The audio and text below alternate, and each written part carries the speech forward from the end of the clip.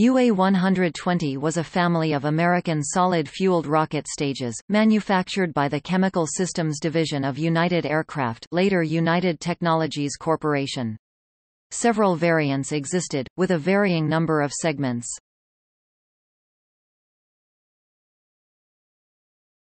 Topic. Design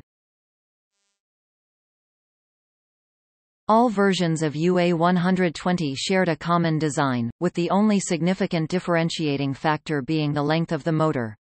It was a segmented design, with between 5 and 7 motor segments possible. A solid propellant, polybutadiene acrylonitrile, was used as fuel. The stage had an external diameter of 120 inches.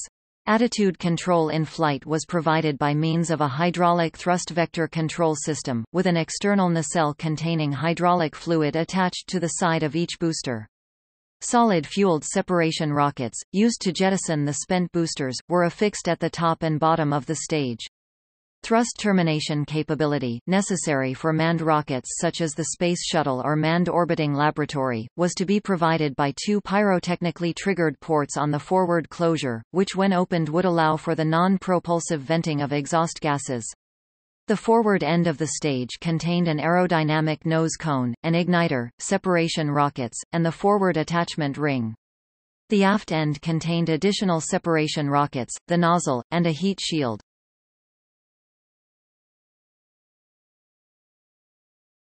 Topic: Variants. The overall design of each variant was very similar, the main difference being the number of segments used. This is indicated by the number at the end of each designation.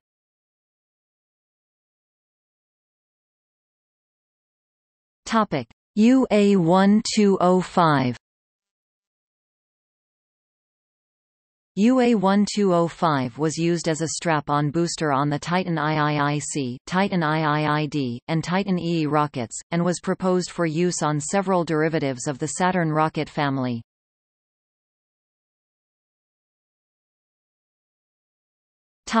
UA-1206 The UA-1206 was used as a strap-on booster on Titan 34D and commercial Titan III.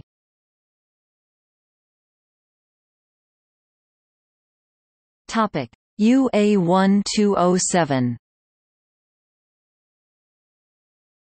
UA-1207 was used on Titan IVA. It was proposed for several other variants of Titan III and IV, as well as derivatives of the Saturn rocket family and the Space Shuttle.